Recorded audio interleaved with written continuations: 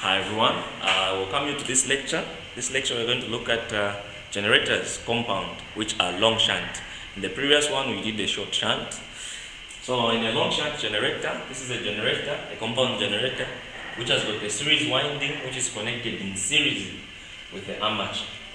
Okay, you realize that uh, when current is generated in the armature to pass through the series winding, when it reaches this node it splits the other one goes to the load and it's taken as the load current, whereas the other one goes to the shunt, which is called the shunt current. You've got several resistors. You've got the resistor at the shunt, which is RSH. You've got the RSE, which is the resistance at the series winding, and you've got RA, which is the resistance in the armature. You've got voltage, which is generated in the armature, and it's called uh, generated voltage, and you also have the voltage connected to the load. So relationship of currents, you realize that the currents in the armature is the same as current passing through the series winding. And this is series current is equal to the armature current. But this same current gives a summation of two currents, which are these. The load current as well as the shunt current. So that's the relationship of currents. Then the voltage, the voltage at the terminals is just the same as the voltage at the shunt winding, which is given by the shunt current as well as the shunt resistor.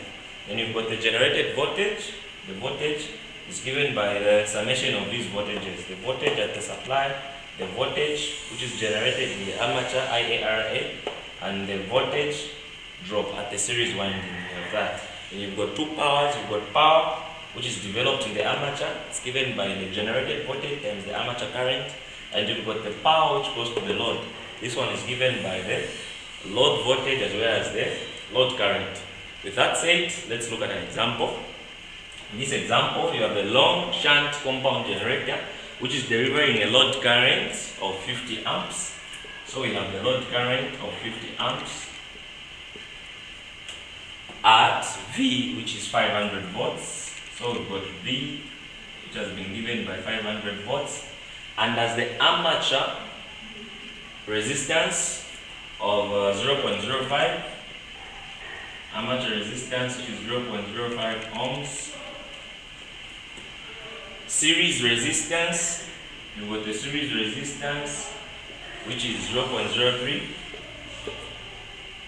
ohms and we've got the shunt field resistor of 250 ohms. So we've got the shunt field resistor of 250 ohms. Respectively calculate the generated voltage and the armature current Okay, so for us to find the armature current, you can see this relationship. Armature current is given by load current plus the shunt current. Load current has been given already, we have it. Shunt current we don't have. So we can find the shunt current from the voltage equation. Voltage equation is given by V is equal to shunt current by uh, shunt resistance. From this one we can make the shunt current the subject and you're going to have V over RSH. And this will give us the voltage V is 500. You're dividing that by the shunt resistor, which is 250. 250 into 500 is 2, so you're going to have 2 amps. So 2 amps is the shunt current. Since we have the shunt current and we have the load current, we can easily find the armature current. Therefore, armature current is the summation of these two currents. The load current, which is 50 amps, plus the shunt current, which is 2 amps. And we are going to have our armature current, which is 52 amps. Okay?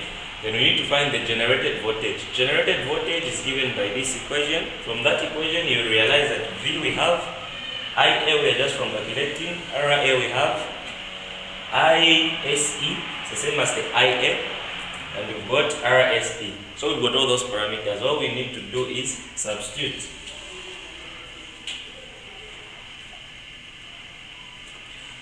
So we have our voltage V which is 500 it's adding IA which is 52 times RA RA which is 0.05 plus series current, which is the same as the armature current, so it's the same one, the 52. And it's multiplying the series resistance, which is 0.03. When we do that, all we need to do is to use a calculator. 500 plus 52 by 0.05 plus 52 by 0 by 0.3. We're going to have 504.16. So our generated voltage is given by 504.16 volts. With that presentation, this marks the end of uh, compound generators. In the next uh, lecture, we are going to do compound motors. Thank you.